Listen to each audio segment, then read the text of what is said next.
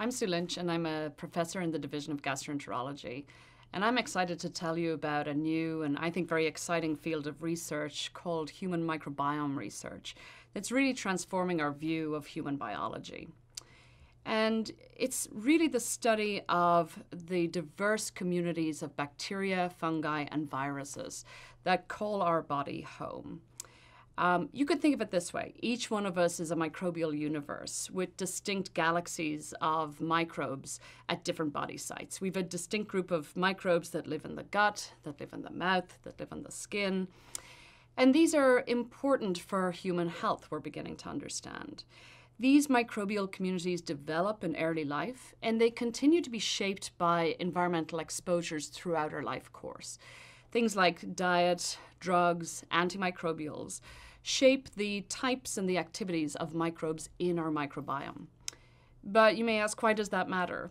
Well, it matters because microbes in the microbiome encode an immense number of genes, almost 2 million genes, for example, in the gut microbiome. And microbes are master biochemists. They produce a whole range of bioactive molecules that our human genome doesn't produce. And we're beginning to understand that these microbes, their genes, and their molecules shape human health.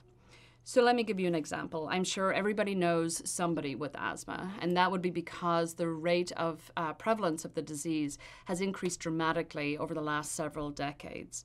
Within the US alone, 1 in 13 individuals is diagnosed with asthma, and a large proportion of those are diagnosed with allergic asthma.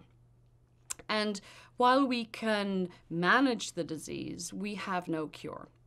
So, what about if we tried to understand the developmental origins of the disease?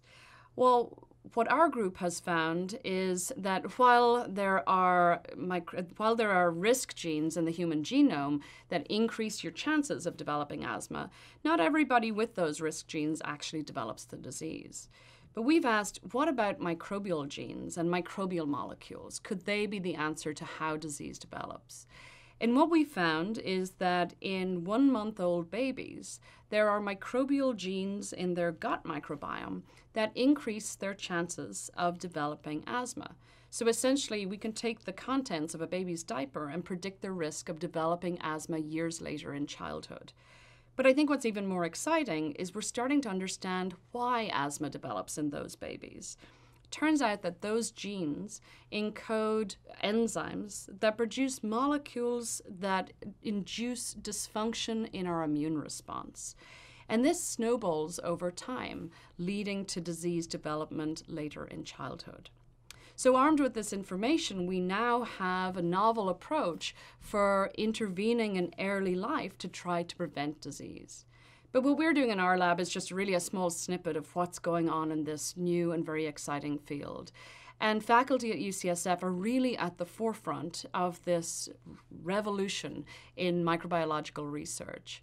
And I believe that what we're doing here, right now at UCSF, in the field of microbiome research, is really going to transform how we perceive and treat humans uh, and promote health.